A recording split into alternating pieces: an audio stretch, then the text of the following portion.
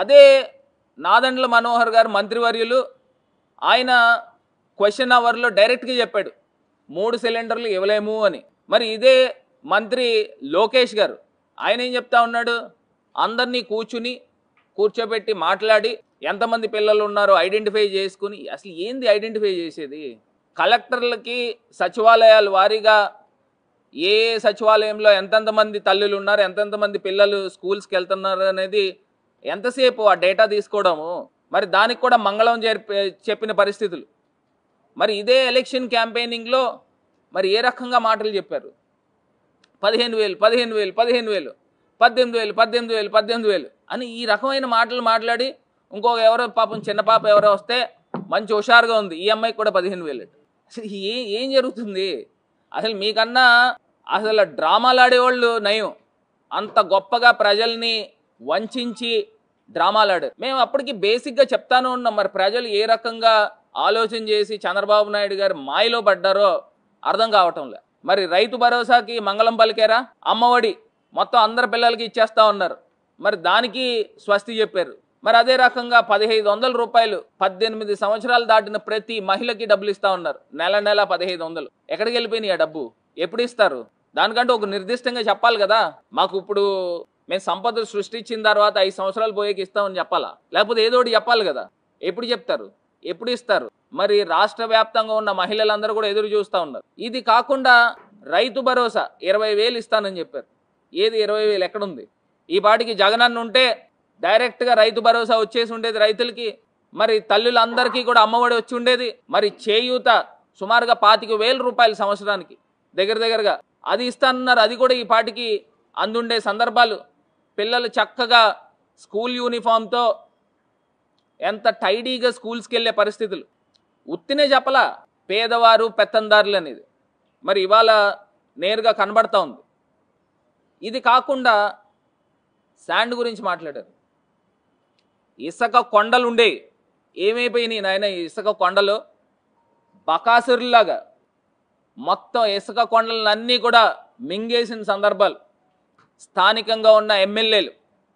ఇదే national highway పైన హుండాయి showroom కానుకుని నాకు తెలిసి ఇసుక కొండ ఎప్పుడు కూడా నేను చూడలే అంత పెద్ద కొండలు ఉండే గత ప్రభుత్వంలో అవన్నీ కూడా స్టాక్స్ పెడితే నాలుగు రోజులు తిరగకుండా బకాసురులాగా దాన్ని మొత్తం మింగేశారు. నాకు ఒకటి అర్థం కావట్లా ఎక్కడికి వెళ్ళిపోయింది అది? ఫ్రీగా ఇచ్చారా? ఎవరికి ఇచ్చారు ఫ్రీగా? నాలుగు రోజుల్లో ఫ్రీగా ఇచ్చేయడం ఏంటి? సుమారుగా పది కోట్ల రూపాయలు విలువ చేసే ఇసుకని మరి ఎమ్మెల్యే స్వామిమాల వేసుకున్నాడు. వేసుకుని ఏ రకంగా మరి చేసాడనేది ఒక్కసారి రాజమహేంద్రవరం ప్రజలు ఒక్కసారి ఆలోచన చేయాలి. ఫ్రీగా ఇచ్చారా? ఎవరికి ఇచ్చారు? ఇప్పుడు ఇసుక కావాలనంటే సందర్భాలు ఏంటి?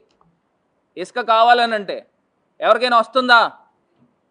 నిజంగా ఆ స్టాక్స్ ఉండి ఉంటే ఈ వరదల టైంలో ఆ స్టాక్స్ అన్నీ కూడా ఉపయోగపడి ఏం చేశారు? నాలుగు రోజుల్లో మింగేశారు. ఇదేనా మీ కొత్త ప్రభుత్వం యొక్క పరిపాలన? జగనన్న ప్రభుత్వంలో ఆ స్టాక్స్ అన్నీ కూడా నిల్వలు పెడితే ఆ నిల్వలు ఎమ్మెల్యేలు అంతా కూడా కలి కలిపి దోచుకున్నారు అందరు కూడా. అక్షరాల పది కోట్లు తక్కువ విలువ చేయకుండా ఉండే ఆ ఇసుక కొండలు. వీళ్ళు మాట్లాడుతూ ఉన్నారు. నీతి నిజాయితీల గురించి వీళ్ళు మాట్లాడుతూ ఉన్నారు. మొత్తం సెటిల్మెంట్ బ్యాచ్లు జరుగుతూ ఉన్నాయి రాజమండ్రి వ్యాప్తంగా. అసలు ఎప్పుడైనా మనం చూసామా? డైరెక్ట్గా కొన్ని కొన్ని ప్రాంతాల్లో అయితే ఎమ్మెల్యేలు నేరుగా కలెక్టర్ల దగ్గరికి వెళ్ళి మా ప్రాంతంలో మేము క్లబ్బులు నడుపుకుంటాం ప్యాకాడ క్లబ్బులు నడుపుకుంటాం అని డైరెక్ట్గా అడుగుతున్నారు. ఇదెక్కడ ఇదెక్కడ ప్రజాస్వామ్యం?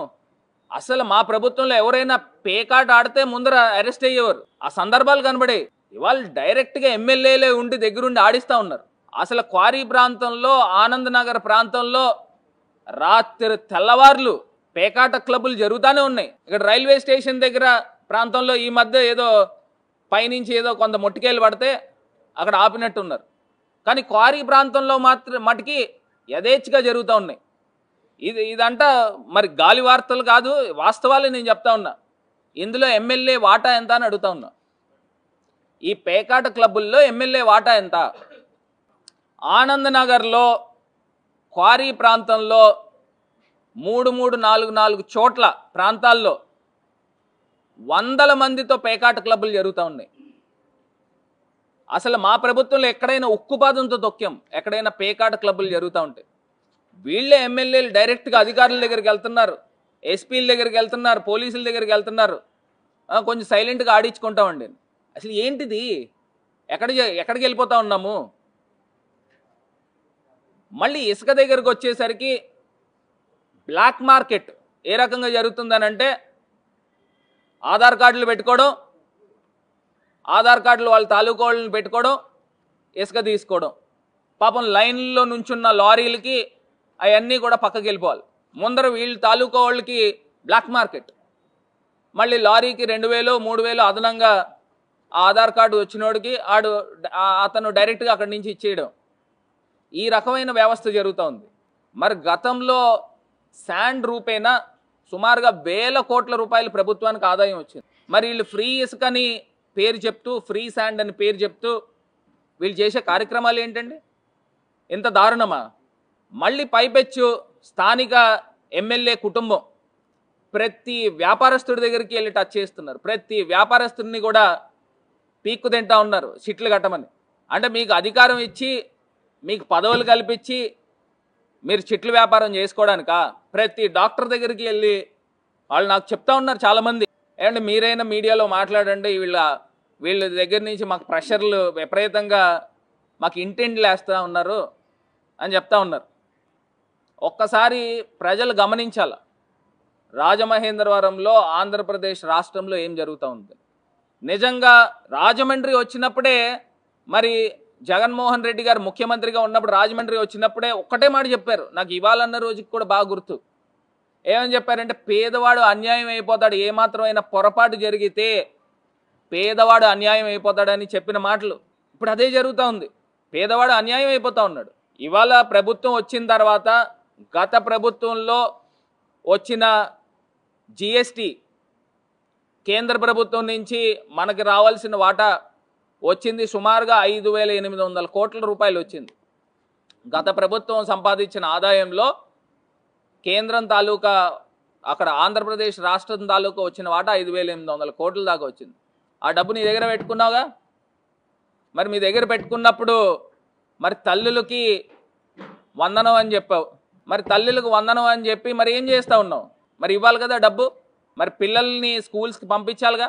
నాడు నేడు పరిస్థితులు ఏమవుతాయో ఎవరికి కూడా తెలియదు మరి ఇవాళ వచ్చిన కొత్త ప్రభుత్వము ఇప్పటికైనా పేదవాళ్ళకి అన్యాయం చేయదు పేదవాళ్ళకి అన్యాయం చేయకుండా గత ప్రభుత్వంలో ఏ రకంగా అయితే పేదవాళ్ళకి న్యాయం జరిగిందో అదే స్థాయిలో వైఎస్ఆర్ కాంగ్రెస్ పార్టీ తరపున మేము డిమాండ్ చేస్తూ ఉన్నాం. పేదవాళ్ళ పక్షాన్ని నుంచి ఉంటాం పేదవాళ్ళకి అన్యాయం జరిగితే ఎట్టి పరిస్థితుల్లో ఊరుకునే పరిస్థితి లేదు అని కూడా ఈ సందర్భంగా తెలియపరుస్తున్నాం. మరి ఇప్పుడే వరదలు ప్రమా ఫస్ట్ ప్రమాదక హెచ్చరిక ధవళేశ్వరం బరాజ్ దగ్గర మరి ఎత్తే తీసేశారు కాబట్టి ఇప్పుడు అంటు అంటువ్యాధులు ప్రబలం కాకుండా దానిపైన పూర్తిగా శానిటేషన్ పైన దృష్టి సారించి ప్రత్యేకించి లంక గ్రామాలు అయితే కానివ్వండి ఏ- ఏజెన్సీ ప్రాంతాలు అయితే కానివ్వండి దీనిపైన దృష్టి సారించండి. ఎందుకంటే అసలు ఛాలెంజ్ ఇదే. ఎందుకంటే బురదతో కూడుకుపోయి ఉంటుంది. దానికి ఎప్పటికప్పుడు శానిటేషన్ ప్రాపర్గా చేయించి మందులు. అసలు నాకు ఆశ్చర్యం అనిపిస్తూ ఉంది గత ప్రభుత్వంలో మరి టెలిమెడిసిన్ జరిగేది.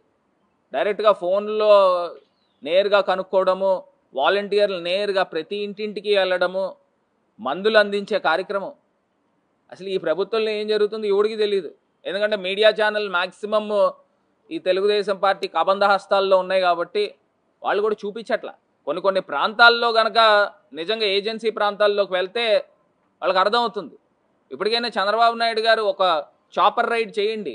హెలికాప్టర్ మీద మీరు పోలవరం ఎలాగ వెళ్తూ ఉంటారు కదా ఒకసారి మొత్తం ఆ ప్రాంతాలన్నీ కూడా చూసి అధికారులని అలర్ట్ చేయండి. అలర్ట్ చేస్తే ఖచ్చితంగా వారికి సహాయక చర్యలు అందుతాయని ఈ సందర్భంగా తెలియపరుస్తూ మరి అందరి పక్షాన ప్రజల పక్షాన్ని నుంచుంట నుంచుని పోరాడతామని ఈ సందర్భంగా తెలియపరుస్తుంది.